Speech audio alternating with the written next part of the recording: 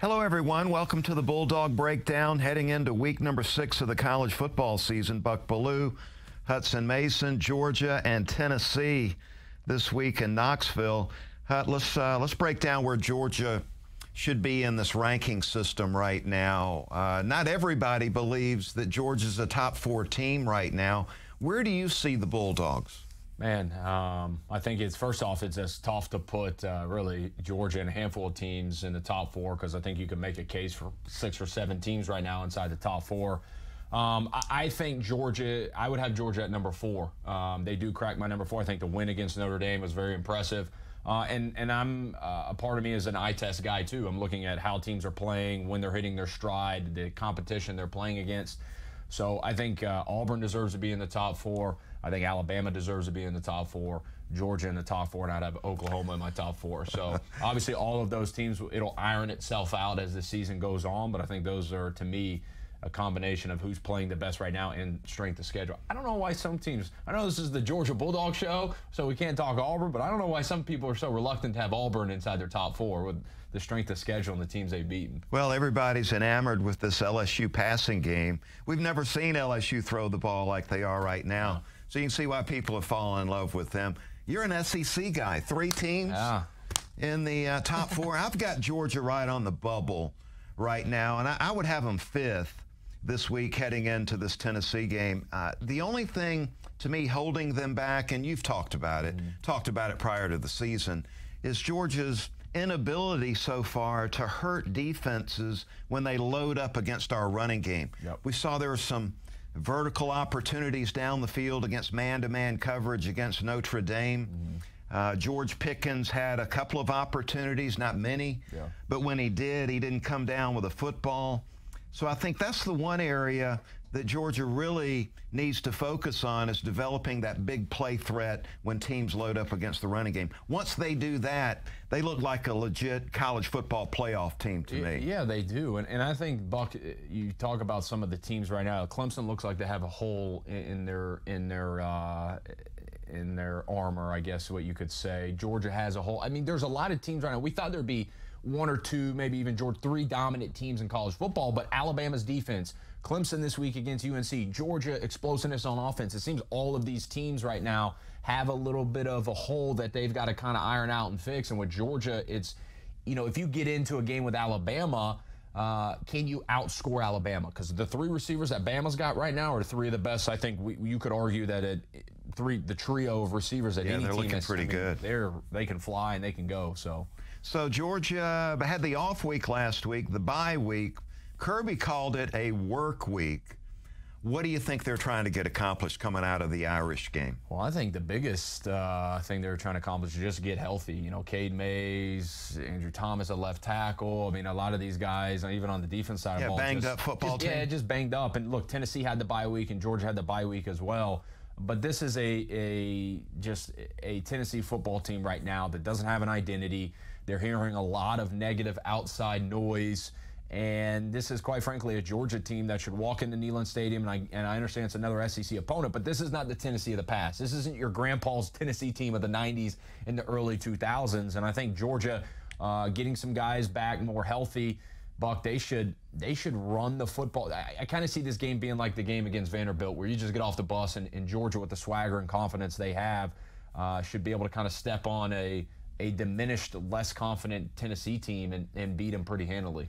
Yeah, I really, uh, really believe what Kirby was talking about with the work week. Sure, Georgia was banged up, had some guys that needed the rest and the treatment, the rehab to get ready for this grind through the SEC East in October. But I think the work week reference was to a lot of young football players that need to get coached up. Uh, the Nolan Smiths, the Nakobe Deans, Jermaine Johnson, uh, guys of that nature needed the work. George Pickens, yeah. the young Dominick Blaylock, yeah. got to polish up their game as we get into SEC play. On the other side, we'll take a quick break. We'll come back, talk about the Volunteers and Bulldogs matchup and what we think about both sides of the ball.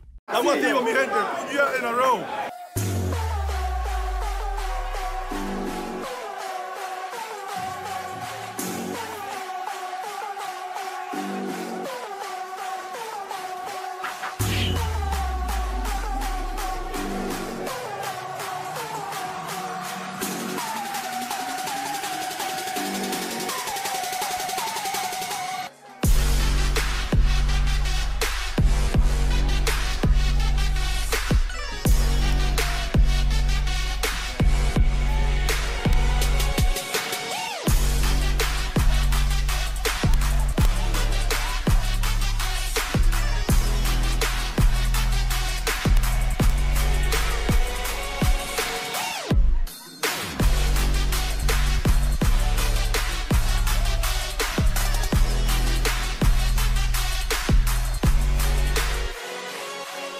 Bulldog breakdown with Belue and Mason. So let's look at Georgia Tennessee in the matchups here. Let's start with the Georgia offense. I think one of the key matchups in this game is Andrew Thomas, the Bulldogs' all SEC left offensive tackle, matched up against Aubrey Solomon, five star recruit out of South Georgia. Yeah, Georgia wanted him heavily. Uh, he got away to Michigan, transferred to Tennessee, eligible immediately. You're going to see him matched up on Thomas a little bit in this game. That matchup intrigues me. Georgia needs to win these matchups. I think Thomas will uh, be able to win that one. So uh, Georgia looking to run the football like they always do. Yeah, you mentioned uh, Solomon. He's kind of the, the rare only bright spot for Tennessee on the defensive line. They're trying to recruit, get better offensive linemen, and just more depth. Will Friend, their offensive line coach, played for him in college. He's a good, good recruiter, just needs a little bit more time. Um, and, you know, I think, again, Georgia, where they have the advantage against a lot of teams, even in the SEC, is the line of scrimmage. So uh, it seems like the same story that we talk about every week. You're going to lean along that offensive line. Hopefully, some of them have gotten healthy. But what a big game for a guy like Cade Mays, right? Knoxville kid was committed to Tennessee. Dad played at Tennessee and then switched at the last minute to Georgia. I mean, he knows a lot of those kids on that Tennessee team, so he gets to go back home for the first time and play against uh, some of his buddies in his hometown. I think you know, maybe he'll get some more playing time than we've seen previously, but I, I think I've got my eye on him this week. Yeah, I'm looking at two things. I'm expecting Coley to go tempo, something Jake Fromm just flourishes doing. So go up tempo, uh, wear down this thin Tennessee defense by keeping them on the field. This is what Fromm does best. It's like a coach on the field, getting you in these plays. You know you're going to be successful. You wear down the defense. Hopefully you run more plays and we get to see Zamir White Right. and James Cook a little bit Yeah. more than we saw the last time out. But again, I'm looking at Cager and Robertson, uh, looking at some of these other receivers. When they do get this man coverage on the outside, we got to start making some plays Yeah. there uh, and be a little more dangerous on, on offense. Let's look at the defensive side of the ball here in this game. Uh, Tennessee not divulging, revealing who their quarterback will be. They're giving reps to all three guys this week in practice. So I guess they're playing that card, trying to trick Kirby and his defensive staff, Lanning and Schumann, not really knowing who's going to play quarterback this weekend. Yeah, um, I think to us there's some obscurity, and we may not know, but I, I've got a feeling that with Chaney being at Georgia and them knowing Chaney pretty well, they've based on Chaney's offense. I think Kirby and Lanning have a pretty good feel of, uh, you know, is it going to be Guarantano? Is it going to be this true freshman quarterback? Maurer. Maurer. I don't see, you know, Maurer. I saw him play in the Florida game, and and you know, I know the Vols are one and three right now, and you could argue why play Guarantano's build for the future, but that Maurer kid did not look ready, and he looked kind of mentally overwhelmed. True so, freshman. Yeah, I, I would expect him to go with Guarantano, more experience. It is a new system with Chaney, but I think Kirby and Lanning have a have a pretty good feel of who can operate the system better uh, of the Tennessee Yeah, the, quarterbacks. to me, the skill set looks relatively the same. So it's not like suddenly they're just going to come out and run the ball with a Yeah. quarterback all the time. They'll be running the same plays, apparently. I'll tell you what I see, Buck, like we saw last year, kind of square peg in a round hole with Justin Fields and Chaney's offense. I see the same thing with Guarantano in his offense, and that's always been the knock at Jim Chaney is, okay, you've got a quarterback with a certain skill set, and the offense looks completely different than what he's comfortable doing. So uh, I think you'll watch this game this weekend, and a lot of Georgia fans will go, huh, uh, that looks kind of familiar to last year when Chaney was in Georgia with, with uh, Jake Fromm and a, and a dual threat quarterback. Tennessee's played from behind a lot. They've had issues protecting the quarterback, Guarantano. So I'm looking for Georgia's defense, man. Let's turn up this havoc rate. Need to see some of these outside linebackers start to emerge as real threats as we head into October in this SEC East schedule we're going to be facing here. Uh, you got Ojulari, who Kirby bragged on this week, a three-down linebacker, and that's a good thing. But I need to see Anderson.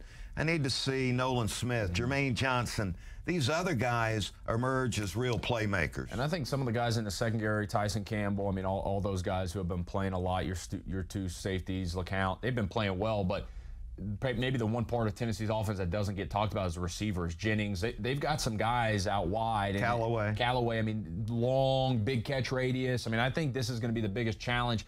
If Tennessee's offensive line can hold up long enough for, to allow Guarantano to throw the ball vertically, it could be a big test for the Georgia secondary. Yeah, I've al- almost forgotten what Tyson Campbell looks like. He's Yeah. been out it seems so long. So these young cornerbacks, DJ Daniel, maybe we'll see Stevenson here. McGee played well, filling in, starting on one side. Stokes reportedly is feeling better with the knee, so we should be able to match up back there in the secondary. Looking for a big Georgia win? I think that's what we're all expecting up in Knoxville, a Bulldog takeover. Have fun watching that one. And join us next week as we're back talking about the Georgia Bulldogs.